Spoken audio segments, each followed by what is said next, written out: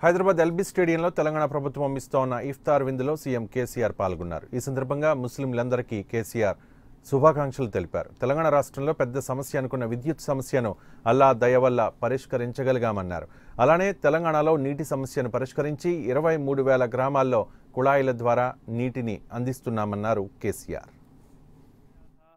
और गरीब खानदानों में भी तोहफे तकसीम किए गए थे आली जनाब मोहतरम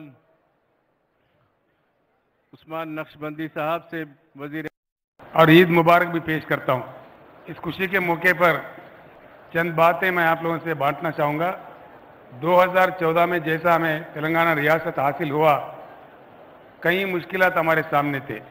सबसे बड़ी किल्लत बिजली सेक्टर में थे। बड़ा ही मुश्किल था अल्लाह ताला के फजल से।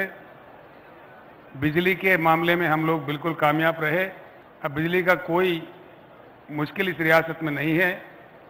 और ये भी मैं फकर के साथ कह सकता हूँ, हर शोबे हयात के लिए, हर हर किसी के लिए, देश में किसी रियासत में अगर 24 घंटे का क्वालिटी करंट सप्लाई होता है, सिर्फ़ तेलंगाना रियासत में होता है।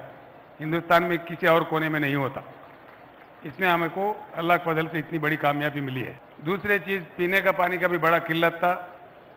पाँच साल पहले हम लोग जब मिशन भगीरथ का एकदम प्रोग्राम ले लिया था, वो भी मुकम्मल होने जा रहा है।